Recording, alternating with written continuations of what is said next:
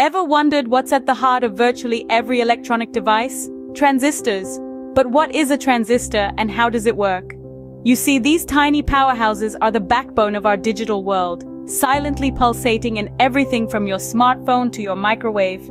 If you're intrigued by electronics or engineering, understanding transistors is a must.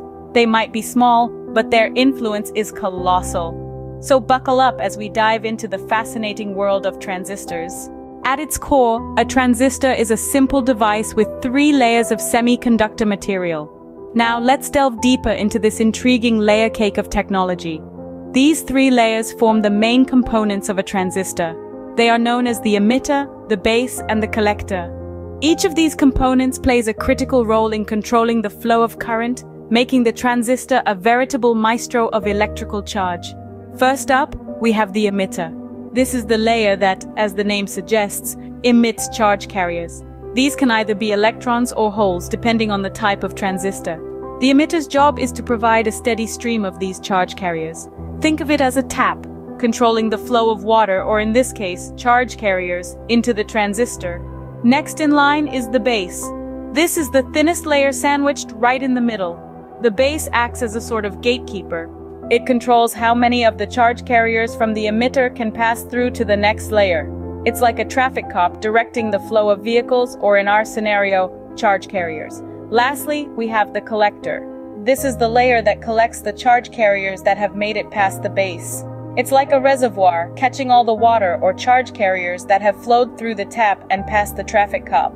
Together, these three components work in harmony to control the flow of current. The emitter provides the charge carriers, the base determines how many can pass through, and the collector gathers up the ones that make it. This trio of components allows the transistor to amplify or switch electronic signals, making it an integral part of many of the electronic devices we use today.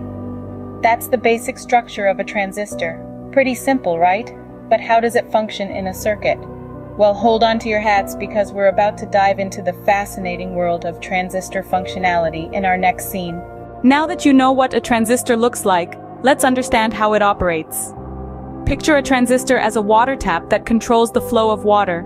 Similarly, a transistor controls the flow of electrical current.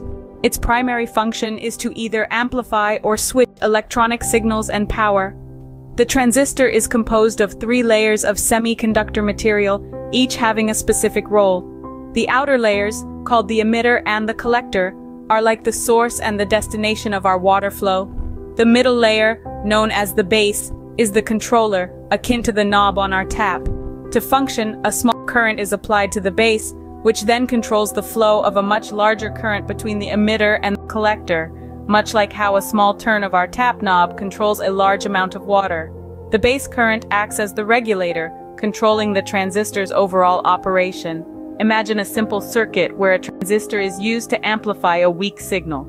The weak signal, which is the base current, is fed into the transistor. The transistor then produces a much stronger output signal, which is the current flowing from the emitter to the collector. The strength of this output signal is directly proportional to the input signal, hence achieving amplification. And that's how a transistor works. It's a small device with a big impact. So, what are the key points to remember about transistors? They have a unique three-layer structure, with each component playing a critical role. Functioning as an electronic switch, they regulate current flow, making our electronic circuits possible. So next time you use any electronic device, remember the crucial role played by the humble transistor.